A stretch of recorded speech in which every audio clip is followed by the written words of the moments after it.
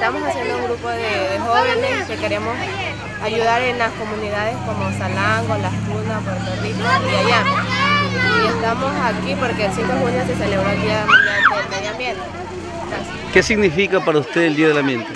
Para mí, porque es algo más, es lo más importante que tenemos en nuestra vida, que es el ambiente, el aire, todo. ¿Le podemos enseñar esos conocimientos adquiridos a los niños que están en proceso de formación? Sobre todo, sobre todo cuidar nuestro ambiente es lo más importante.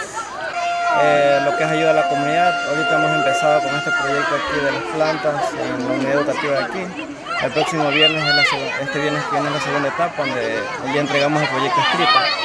Y gracias a la colaboración del municipio, con el biólogo aquí presente, Luis Holguín, que nos ayudó con los técnicos y, los demás, muy agradecido con esto aquí, que en, el mes de la educación del medio ambiente, están los niños recreándose y creando un ambiente propio para la recreación.